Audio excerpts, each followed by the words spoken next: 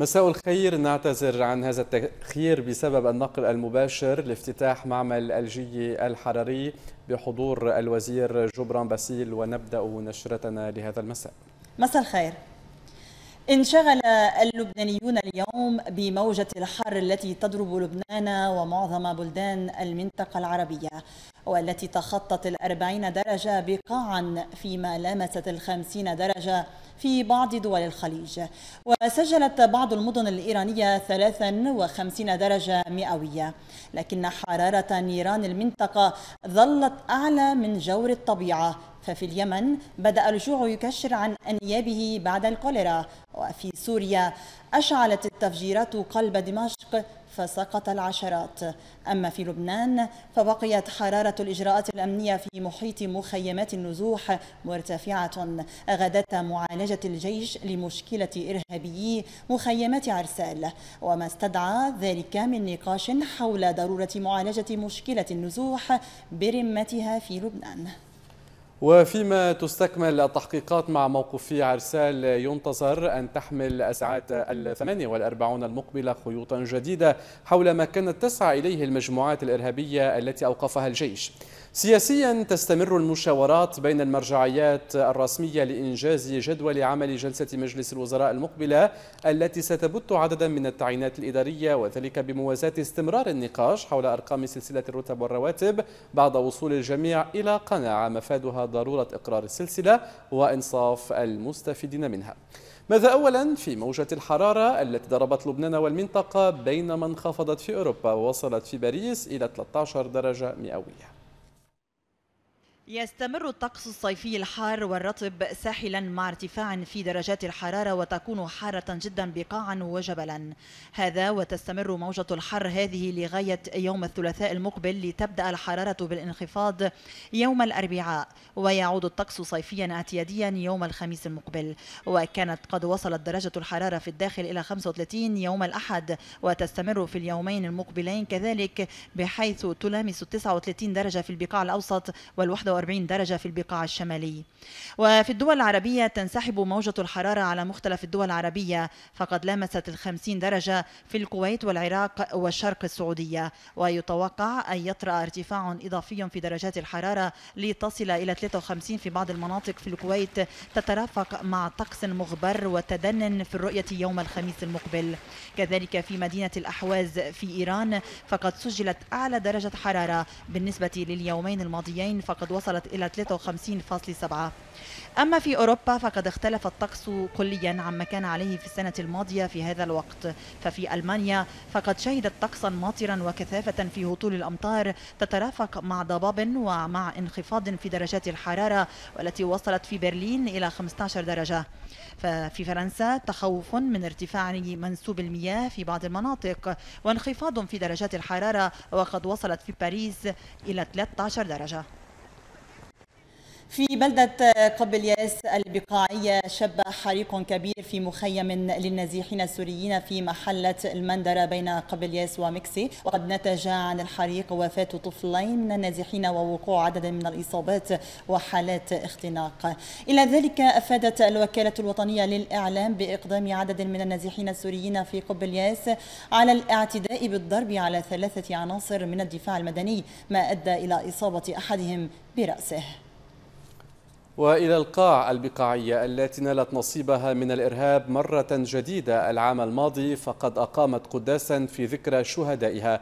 وقد أكد وزير الإعلام ملح مرياشي على أهمية دور الجيش وأهمية صمود أهالي القاع.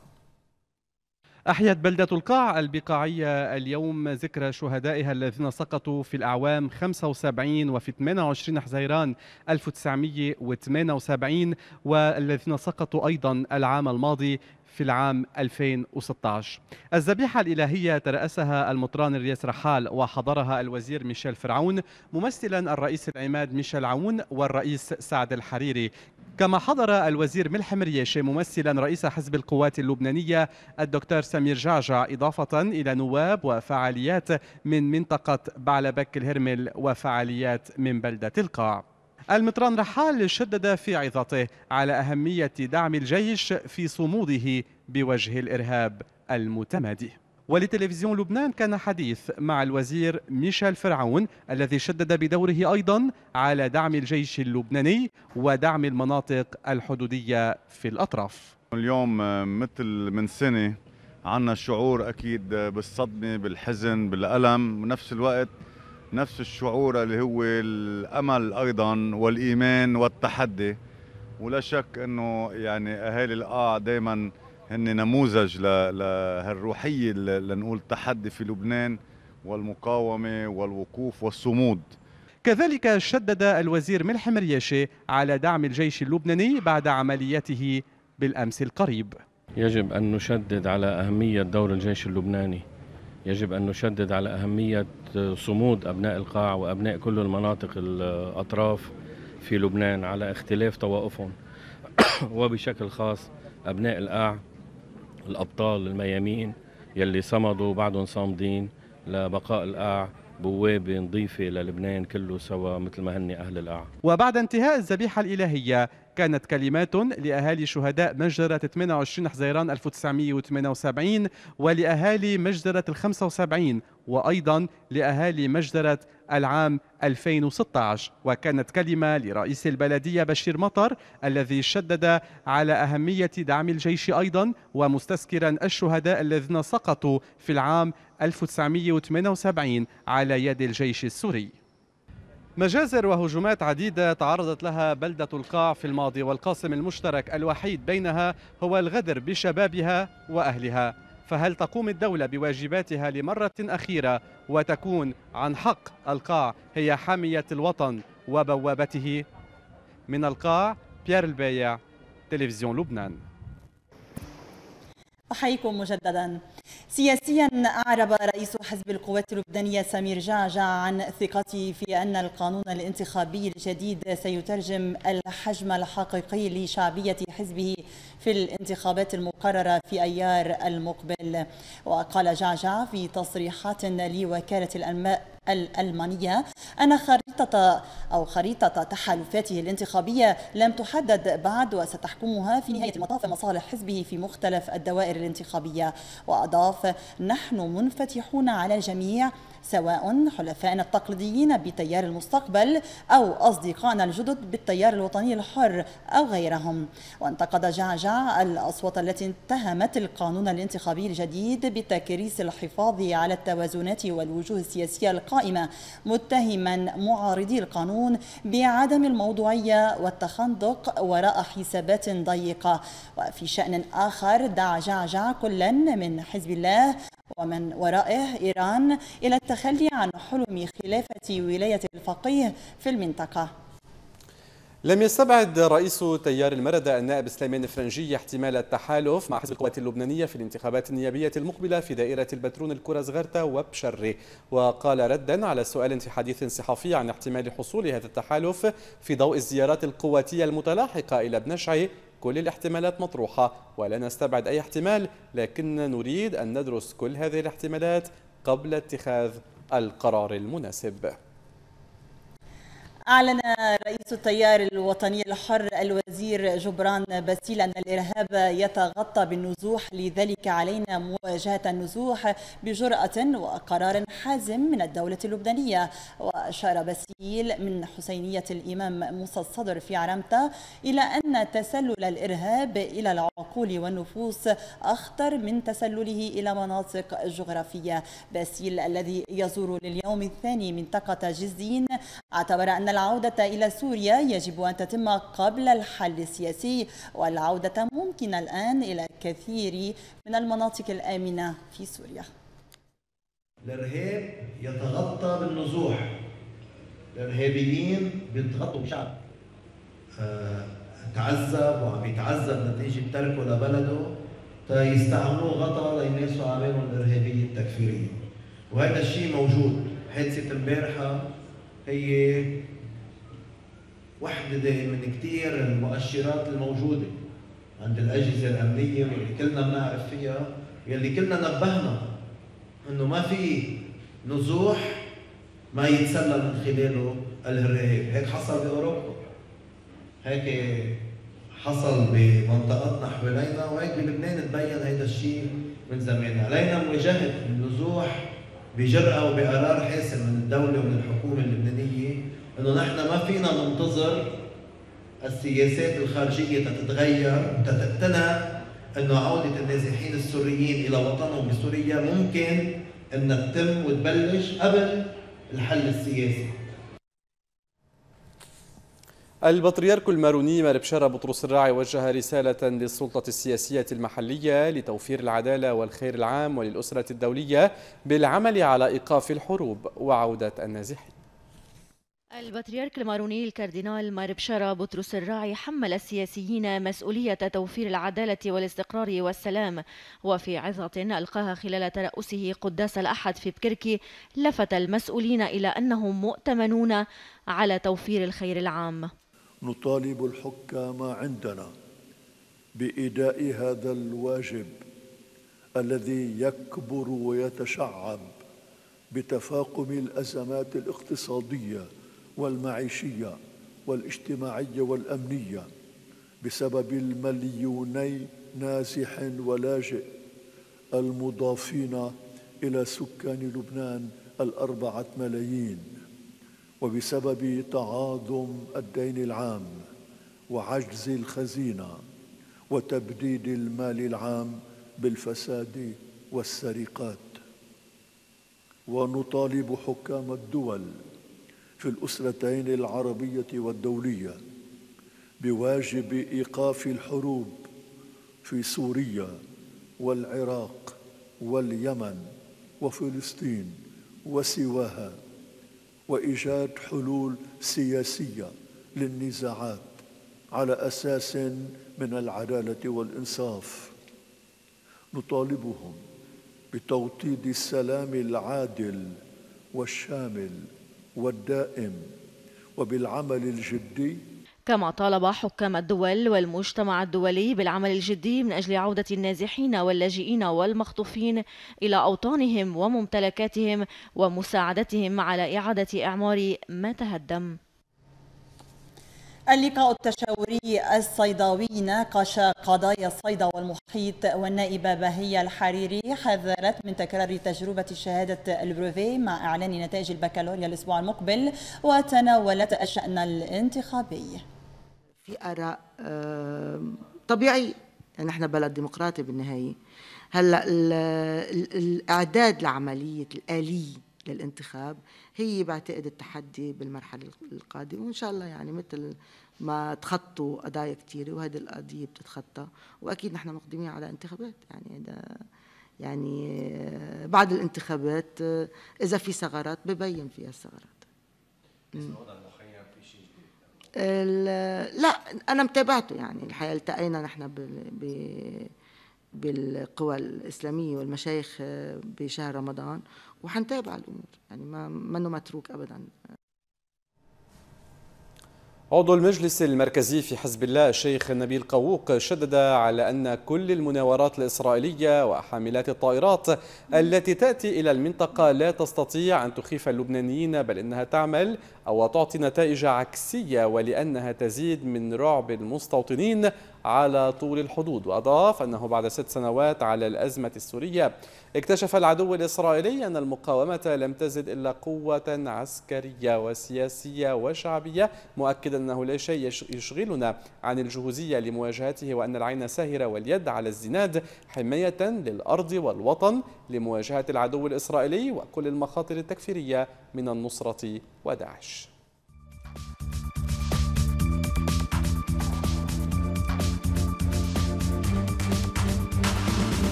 نتابع قراءة النشرة. عمر كمال ابن مدينة نابلس افتتح مهرجانات بيت الدين الدولية بلغات أربعة غنى الفرح الرومانسية والقضية فتعانقت الثقافات على خشبة مسرح بيت الدين وسط حضور رسمي لافت. والنائب جنبلاط قال العنوان فلسطين ولهذا أنا هنا. يا أنا يا أنا أنا انطلاق مهرجانات بيت الدين الدولية لهذا العام بمشهدية عالمية جمعت بصوت عمر كمال ابن مدينة نابلس القضية والثقافة لتجسد صورة لبنان ملتقى الحضارات. عنوان السهرة عنوان افتتاح مهرجان بيت الدين هو فلسطين. عمر كمال فلسطين موطني فلسطين وهذا موطننا هذا موطننا السليب وسيعود. هذا هذا لذلك أنا هون. موطني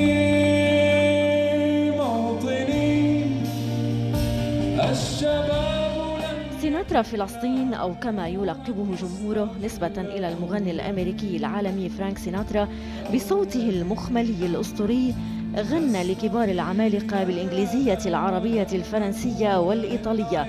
غنى بيروت ونيويورك وفلسطين فأذهل الحضور.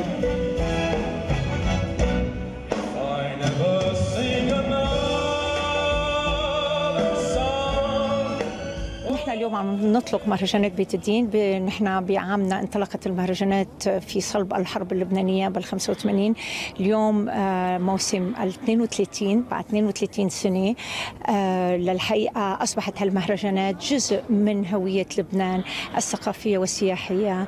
ممكن نقول إنه هي تعكس وجهه الحضاري.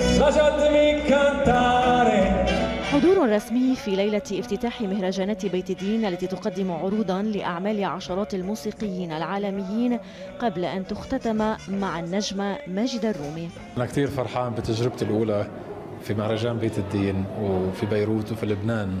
الحقيقة جمهور بجنن حضور رائع وليلة من العمر.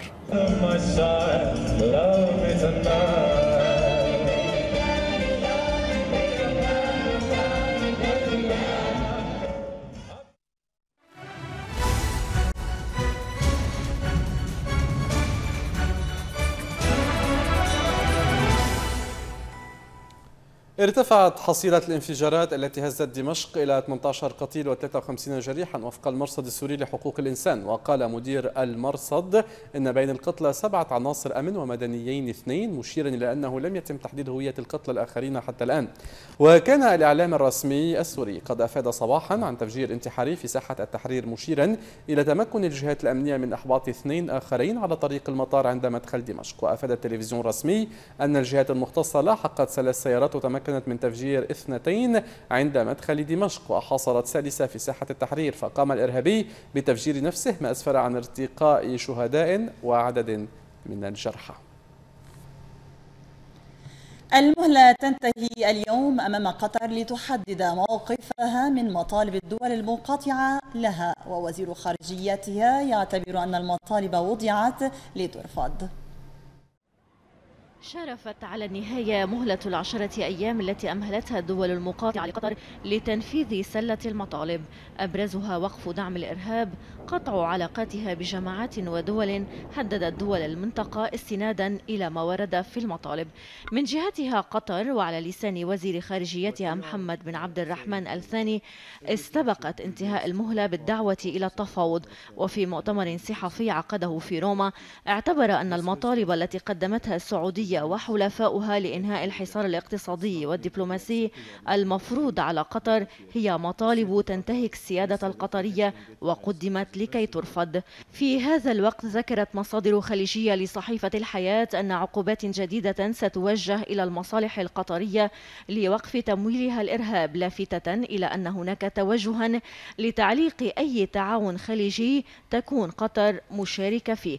وفي سياق تفاعل الأزمة نقل موقع اليوم السابع السابع عن مصادر خليجية تأكيدها أن السعودية رفضت طلبا تقدم به القصر الأميري في قطر عبر وسطاء بفتح السعودية مجالها الجوي أمام طائرة الأمير تميم بن حمد الثاني الخاصة وأشارت المصادر إلى أن أمير قطر حاول الاتصال هاتفيا خلال الفترة الأخيرة بالملك السعودي لافتة إلى أن طلبه قوبل بالرفض بحسب ما نقل الموقع.